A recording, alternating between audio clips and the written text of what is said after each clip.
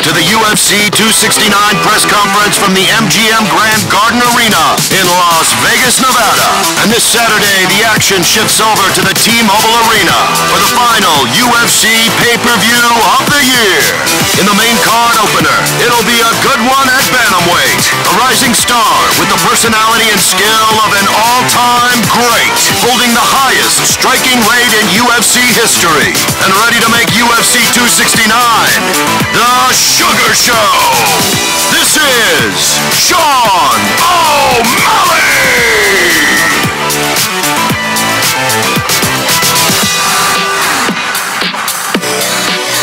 And he faces a dynamic, underrated force from Brazil, riding a three-fight win streak, including the fight of the night performance his last time out. Here is the 26-year-old Jiu-Jitsu black belt, Raulian Paiva.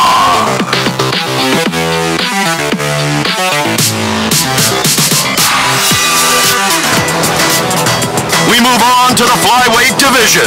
A former bantamweight champion, moving down a weight class to 125 pounds, and ready to begin a new quest for UFC gold. Owner of 12 wins, 10 by way of knockout. Introducing Cody No Love Garbrandt. Welcoming him to the 125-pound class will be a staple of the flyweight ranks, a New Zealand spark plug, looking to build off his jaw-dropping finish of Rogerio Bontorin in March. Here is Kai Kara France!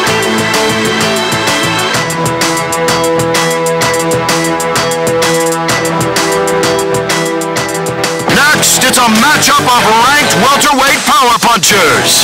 Up first, the best mixed martial artist to ever enter the UFC from Argentina, and winner of eight of his last nine bouts. Please welcome Santiago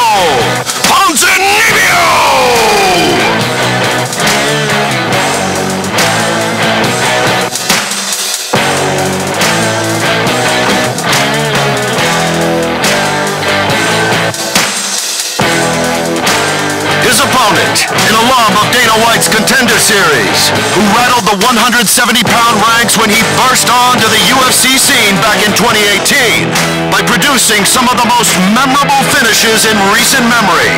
Here is Geoff Neal!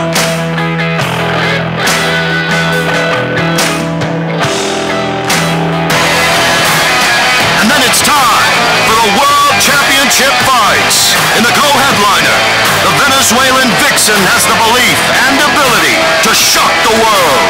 A former Ultimate Fighter winner, owner of the third most wins in bantamweight history. Coming to the stage, this is Julianna Pena!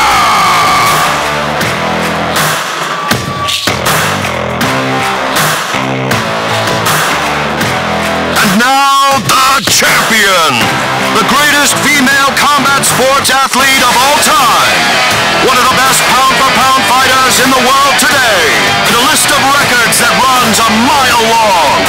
Most wins, most finishes, most knockouts in bantamweight history.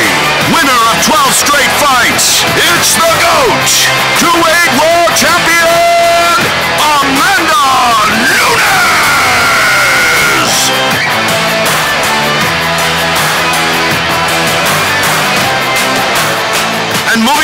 To the main event of the evening for the UFC lightweight crown.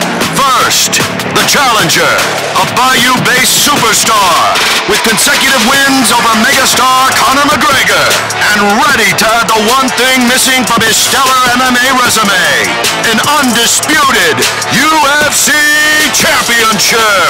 Please welcome Dustin the Diamond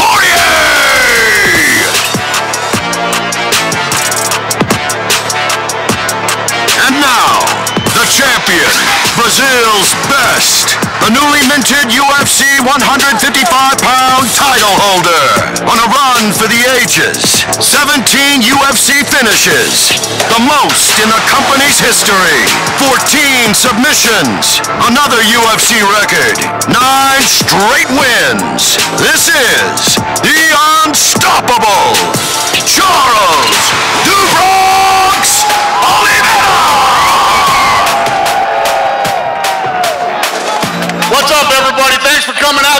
Appreciate it. John Morgan, where you at? Start with Charles, please. Uh, Charles, obviously, uh, you know, 11 years in the UFC to get to this point, but there you are with the belt in front of you, sitting next to the, the, the women's GOAT. I just got to ask, what's the emotion for you as you sit there right now for the first time in that seat of honor? Charles, depois de 11 anos no UFC, depois da tua trajetória, você foi campeão e você está aqui na frente desse cinturão e do lado da melhor do mundo. Como é que você se sente hoje com isso? É uma longa trajetória, né? Do lado de uma grande campeã. Para mim é um, uma grande honra. E, pô, eu tô aqui, eu, eu tô aqui para isso.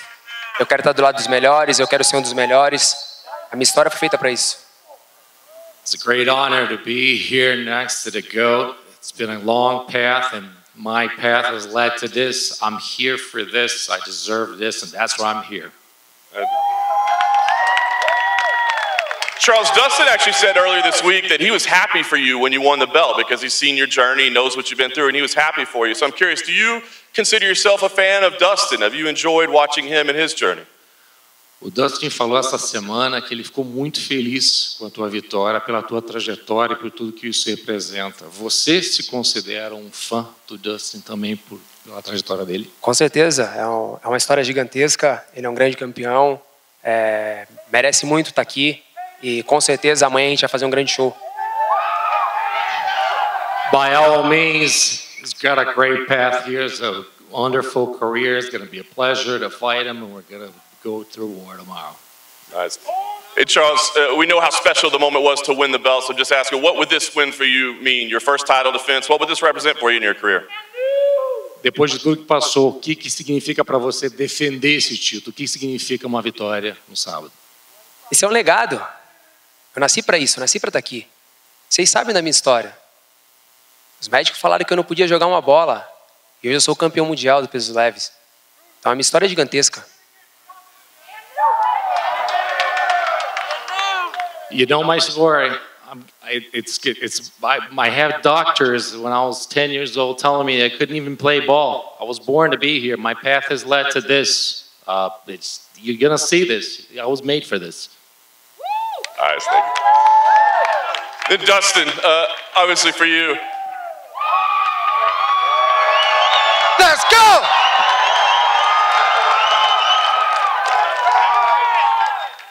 Know, you had this, this similar opportunity in 2019, right? And obviously didn't go your way, disappointing night. But I'm just curious, what's the biggest difference this time around? I mean, is it something within you? Obviously, you're not flying halfway around the world. I mean, what's the biggest difference this time? if I didn't advance in the last few years since that title fight, I wasted a few years. You know, I think I'm a better fighter, uh, more well-rounded, and just a little bit better mentally. You know, in, in, that fight with Khabib, when I when I got up and exposed my neck, maybe losing the round and, and taking that a little bit slower instead of losing the fight would have been a smarter decision. You know, just be smarter in my movements. I, I got a lot of experience, and, and that was another huge learning moment for me to to put these, you know, these uh, fights together. There's so much going on at all times in there, and small mistakes, small slip ups like that can, can be detrimental.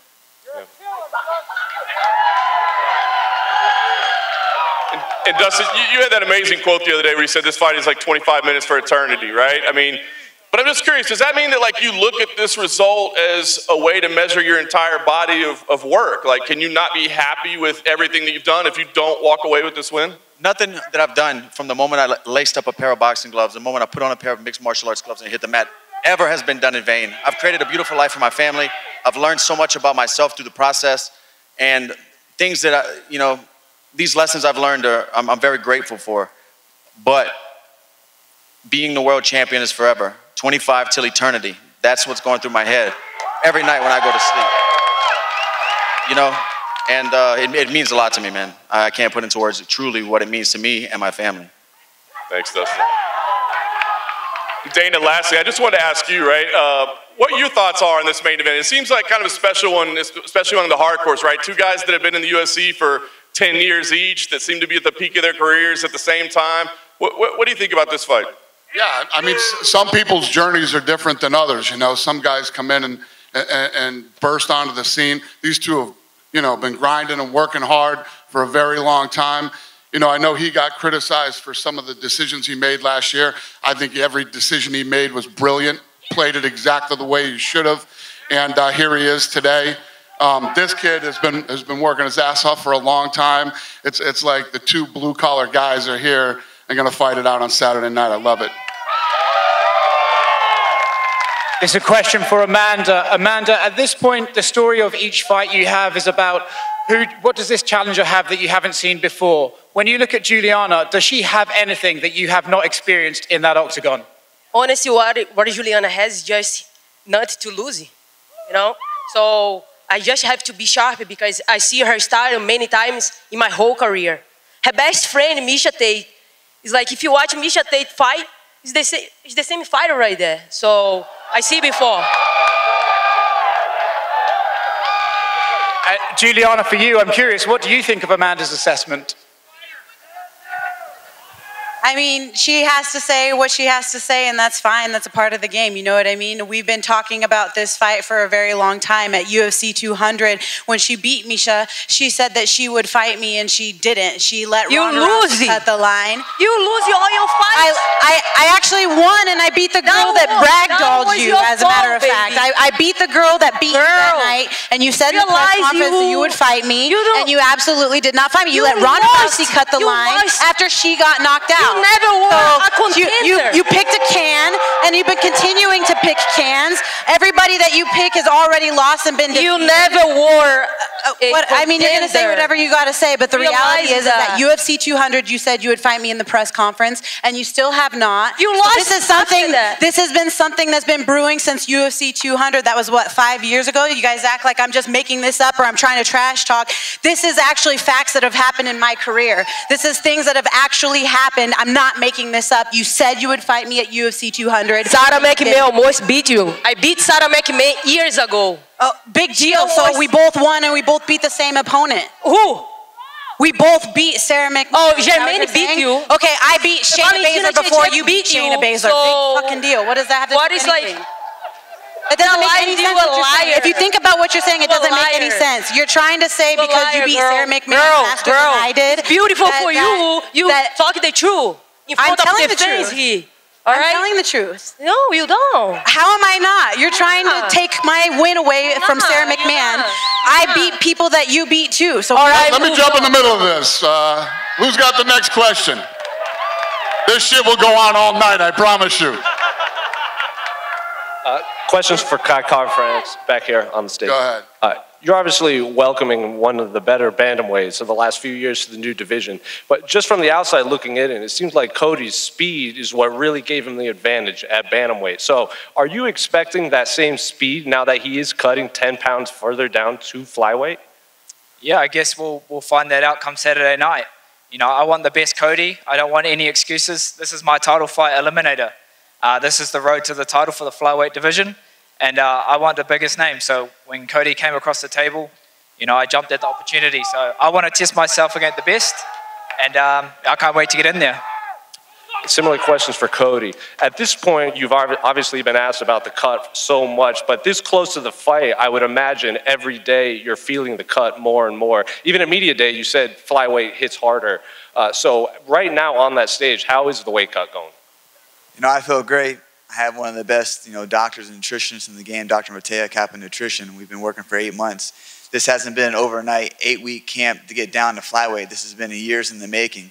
I had a flyweight title shot over a year ago. You know, I got COVID, things happen, you know, ended up losing the Rob Font. You know, it goes on. So when Kai Kara-France came up, it was a great fight. You know, this dude begged me to, to fight. He put himself in this situation. I worked for this opportunity. There's a different mindset. He has an average mindset. I have an elite mindset. And that's what the difference in this fight's going to be. Kai, do you have any response to that? I guess we'll find out come Saturday night, you know. Bring that same energy. And that's the best thing about this sport. We can talk all we want. Come Saturday night, you're going to find out. Finally, one more for Cody. Uh, I know you're focused on Kai, but there is a man further down that table that you've had a lot of war words with on Twitter. So Let's go. Hey, listen, listen. This this dude, he comes out here and he, he does the thing. He walks his walk. He look, he dresses, does the hair. But he's got different problems than no love problems. He's got Raulian to my right, and Raulian is uh, battle tested in here way farther than he's ever been. Sean, any response to uh, seeing Cody down further down the table? You talked a lot on Twitter, but now that he's further down the table, do you have anything else to say? you don't want to talk. He's He he's not- won one fight since 2017. That's a good one. That's a good one. That's a, and you haven't fought anybody. Who the fuck have you fought? You've won one fight But listen, I can't be mad at this kid. Look, I can't be mad at this kid. He understands when he jumps up in competition, his hype goes away, his money Why'd go goes to- away, his why'd little go sponsors go away. Call, I, get his I ass for beat that fight. straight up. Why'd you go down to 25?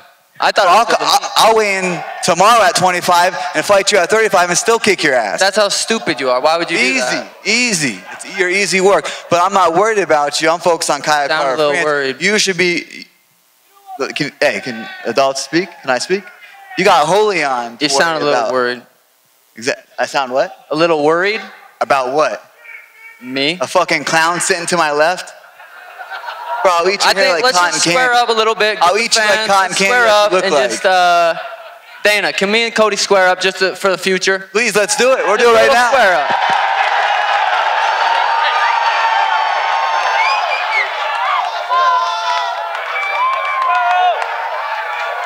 Hot sauce for everybody. Everybody gets a bottle. Wants to stay off? We can stay off. Thank you. Who has the next question? Question for Geoff. Taking on Santiago Ponzinibbio, of course, great opponent. Where do you think he ranks among the guys you've fought before? I feel like he's one of the best. You know what I mean? I wouldn't rank him above Wonder Boy. Uh, like Wonder Boy is just on a whole nother level, but he, he's up there. You know. And do you feel that he's the same since he's came back from his injuries? You know, we've seen him fight twice now, but just do you think he's the same guy? Yeah, 100. percent I think he's the same guy. I think he's still dangerous. He's still the same uh, Ponzinibbio. Uh, I'm not saying like the whole layoff, long layoff uh, diminishes his skills. He's, he's still good.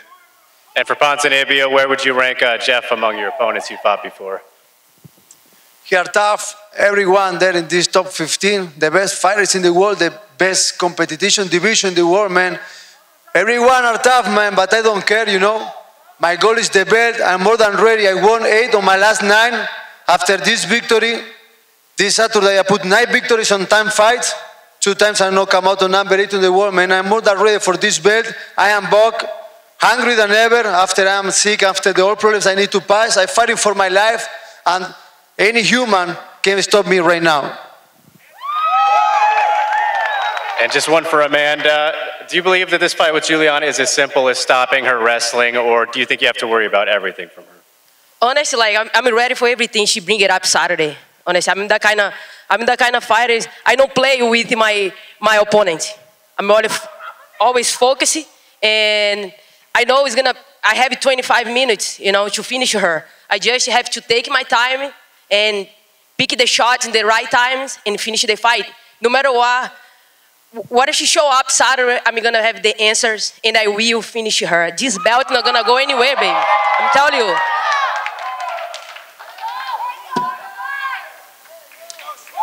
Question for Cody No Love.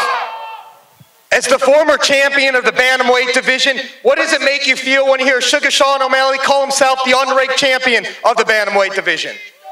I just laugh. I think it's comical. I think this guy's a joke. But uh, like I said, I'm not facing him, and uh, he's got Raulian, so that's who should be focusing on. But hey, you know what? He got he got the hype. He's building up the hype. He's got the fans behind him, so he's got to go out there and prove to himself. And uh, he's unproven. So at the end of the night, he's still unproven. He still has a lot to prove in this sport.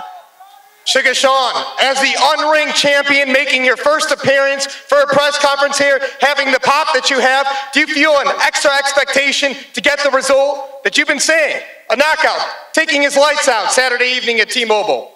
That, that's the that's the plan every single time I go into a fight, whether it's on the you know main card or on the per, oh no man, uh, it's always gonna be on the main card. I'm always gonna go for the knockout. Raulian, what do you make of that when he says he's going to knock you out on stage? You fought his teammate Kyler in the last fight. What do you make of his talk? Alião, o que, que você acha do que ele falou? Que ele vai bater em você logo de cara e você ganhou do cara que treina com ele. Cara, a única coisa que eu vou falar aqui pra vocês, vou colocar esse palhaço no lugar dele sábado. Vou colocar esse palhaço no lugar dele. Qual é o lugar dele? Não é no octógono, é no circo.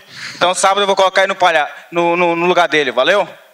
I'm going to say I'm going to put this clown where he belongs. And where does the clown belong? He doesn't belong in the octagon. He belongs in the circus. And that's what I'm going to do on Saturday. Hey, let's go, man. Let's go. Final question for Dana White. Obviously, you got the best broadcast team in the world, but yesterday, Dominick Cruz called out DC's commentating, him being prepared. Do you have any comments about that? Um, yeah, listen, everybody has their opinions, and, uh, you know, I guess DC better do his homework, man. He better, uh, better come out and, uh, and make Cruz happy. Question, question for Dustin to your right here.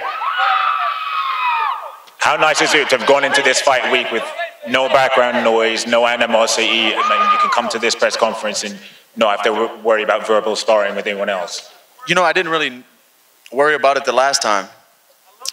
I just, uh, all that's noise, man. I, I'm too experienced for that stuff. When I was younger, I used to really pay attention to what people were saying and watch a lot of interviews and videos and footage, and I know who I am, man. Nobody can tell me who I am. I'm up here, put myself in this position, and I honor this position and the opportunity I have Saturday night. Nothing anybody can say or nothing that goes on from here to that bell ringing can change anything that's gonna happen. Paid in full, baby. Question for Dana. Obviously, we are meant to have a big, big fight on this card in the shape of Leon Edwards against Jorge Masvidal. You recently said that you're working on something for Leon. Can you provide any update on that? Is there any movement? No, no, not yet. But yeah, I mean, we're working on. I mean, we're working on fights all the way up to mid-April now. So um, we'll get it figured out here soon. Khamzat too. Yes. And final one from me. Speaking of Brits, a lot of Brits have fights in the work for March 19th, I believe. Are you guys going back to London? It's going to depend on how, on how all this stuff plays out. As long as you know, uh, you know, these COVID restrictions, you know, st- can stay normal, we we can start traveling internationally again, other than uh, than Abu Dhabi. You know what I mean? So we'll we'll see how this all plays out over the next couple months. Talking new strains and, and and all this kind of stuff. So we'll see what happens. Thank you. Question for Santiago. As it was said when you entered the stage, the, mo- the best Argentine fighter to ever enter the UFC. Can you describe the following you have in Argentina and how big this event is back home for you? Ah, for sure, man. That's growing and growing a lot. This is sport the most growing in the world, and also in Argentina too. You know, Argentina, South America, the sport is growing.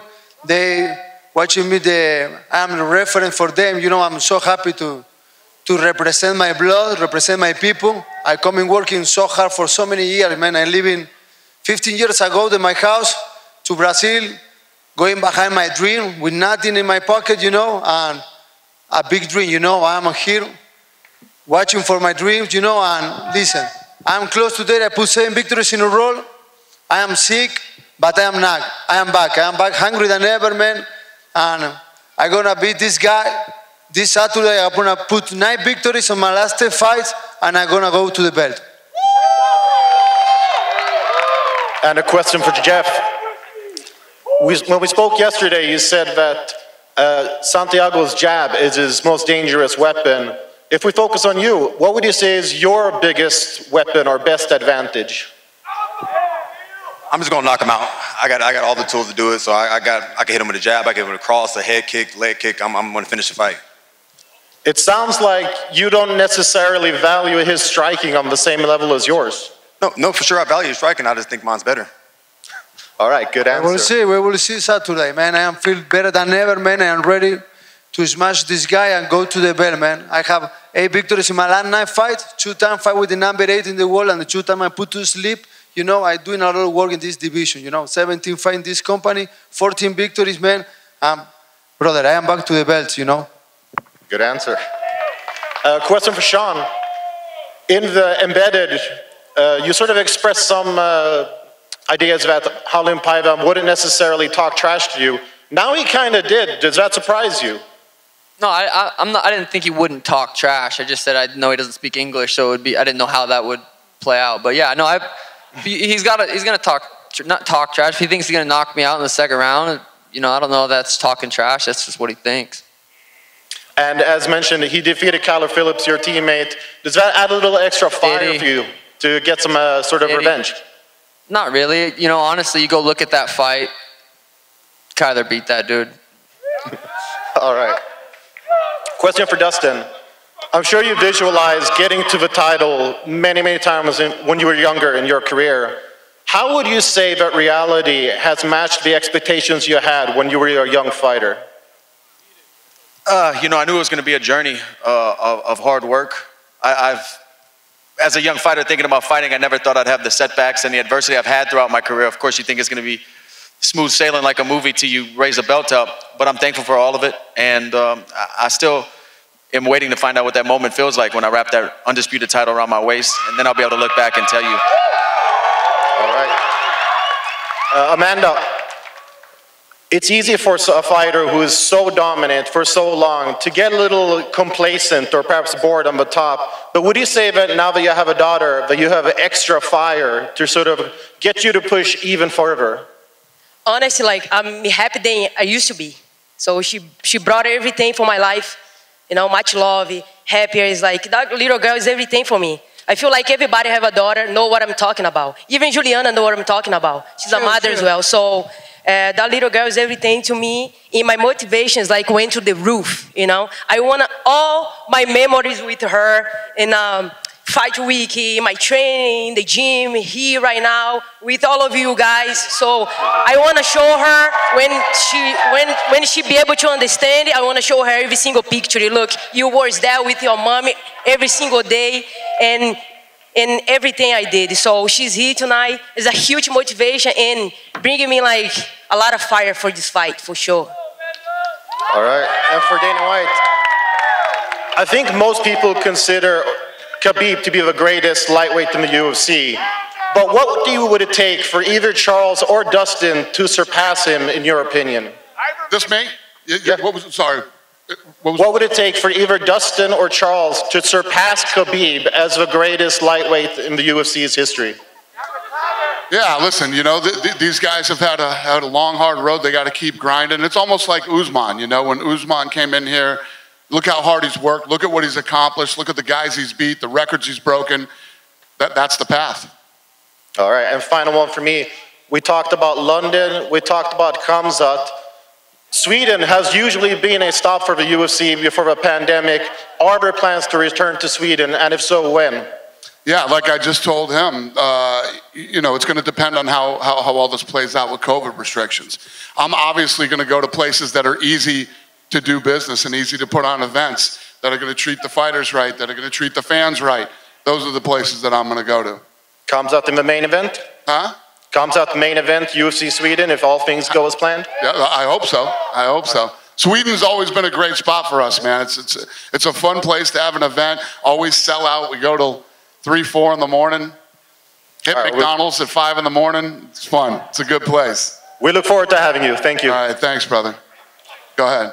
For Julianna, uh, I know how confident you are you're going to win this fight. Is it your expectation if you do that you would have to give an, Amanda an immediate rematch? And more on top of that, would you ever consider going up to 145 and trying to get that belt too? Yes, an immediate rematch, and when I win that fight, I will be 11 and 2 in the division, which is a better bantamweight record in the history of the bantamweight division. And as far as walking up to 145, I don't know. I'm pretty comfortable in, in knowing that 135 is my proper weight class. But uh, You know have to cross that bridge when we get there. You I'm know sorry? that you know that not gonna happen, right? What's not gonna happen? You're not gonna be a champion, girl. we'll find out You Saturday night. We will find out Saturday night. Saturday- One of us is gonna be dead You wrong. find out. We will see. We will. Okay. Put it down in your head right now. We will sleep. Think about Put it that. down You're in your gonna be a head because we were already supposed to fight and That you had my COVID. That is my time. In my month. We'll see. December is my month, baby. We'll see. All right. All right.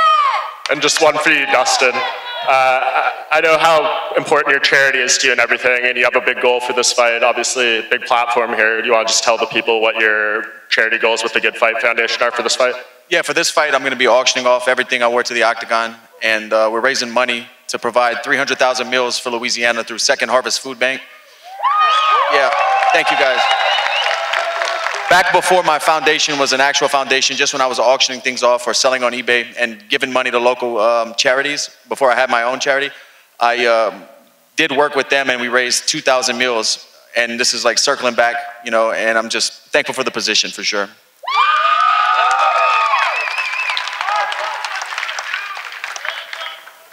Go ahead, brother. Uh, this is for Santiago Ponzinibbio. You came from a great war with Miguel Baeza, a difficult fighter, undefeated, and with the Geoff Neal skills. And he's saying that he's knocked you out. How you see playing out this fight? Listen, man. I fight with a lot of tough kids. You know, I fight with a Leonardo Santos with one arm broken. All my fight, I won. This fight, I broken my radio in 10 parts. You know, I beat a Sean Strickland when he's under feet and 50 now. Miguel Baeza, two times number eight in the world, man. This kid not gonna stop me. You know, he's tough fighter, but I don't care about him. I gonna smash him. I gonna knock him out. I gonna finish. I gonna prove I'm one of the best of the world. I gonna take somebody top five. I gonna go to the belt. I gonna knock him out, Kamaru Usman. You left Argentina with a dream. You had to live in a tent in a beach in, in Brazil. You get to the Ultimate Fighter. How you see after all these years the grow in the UFC and the grow in Latin America? Because you are one of the biggest ambassadors of Latin American MMA. Listen, I need, I need to do a lot of crazy shit for I don't have money, I don't have contact, I don't have nothing. I just only have a big dream. I go to Brazil just with I can do with nothing and I start my way. You know, I have 15 years working so hard. You know, I did a lot of work and for this, I'm gonna say nobody can stop me. You know, my life, my history, the life give me a lot of power. My skill is better than ever. You know, my mentally, my history, my people give me a lot of support, man. I'm the best Santiago Ponzinibbio ever, and I'm gonna show this when I knock him out this guy in the Saturday night. You have a whole continent behind you. Good luck on Saturday. Thank you. All right, we got two more questions here. Go ahead. Hey there. One for Amanda and one for Dana. Amanda, it's been a while since you've had an opponent who was so adversarial. How much do you welcome all the fire that Julianna is bringing to this fight? She doesn't. She didn't show up. Get uh, you know, um, of course, like I take longer. I got the COVID. I have to recover, of course. I don't need to second lie. Like, why? Why am I gonna lie? I have COVID. Like, it's not. I did it. I have. it, I recovered. Now I'm here, ready to go, ready to kick Julianna's ass.